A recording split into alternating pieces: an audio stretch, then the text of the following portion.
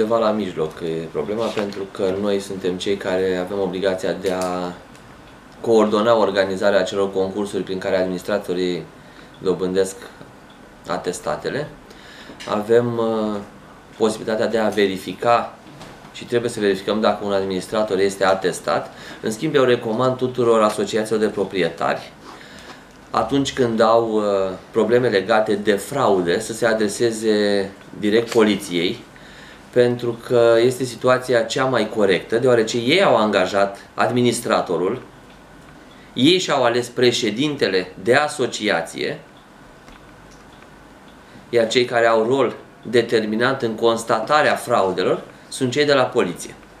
Deci, Dar... din punctul dumneavoastră de vedere, legea nu vă din, cere și nici nu vă permite din, să vă implicați în alt gen de probleme din decât punct, strict a, a, a, autorizarea sau cum se numește, a, verificarea, atestarea, exact. atestarea um, din, din, punctul, din punctul meu de vedere, rolul primăriei este de a verifica și de a urmări ca administratorii să fie în regulă din punct de vedere al documentelor pe care le aceștia le au când îndeplinesc această funcție, dar pentru constatarea anumitor fraude, eu recomand să se adreseze direct poliției, care este instituția care poate să ia și măsuri.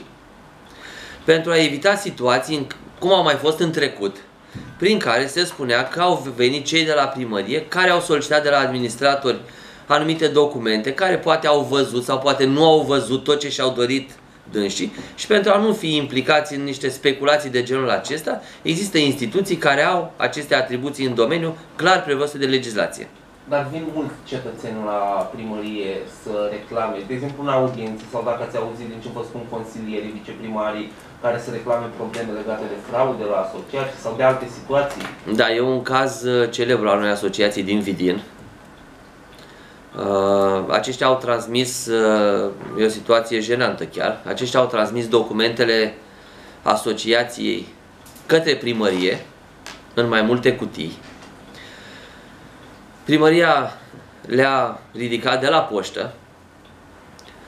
Ulterior au solicitat să le restituim documentele, numai că neavând o conducere statutară aleasă, nu am avut cui să le restituim. Le-am recomandat pentru acele fraude și pentru faptul că în trecut administratorul de acolo se spune că fugise cu o sumă de bani, era dispărut, etc., să se adreseze poliției, lucru pe care l-au făcut.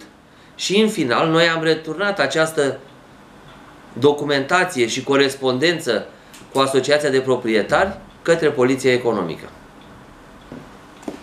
Uh, aș putea să spun că sunt foarte puține situațiile în care ni se solicită verificări la Asociația de Proprietari.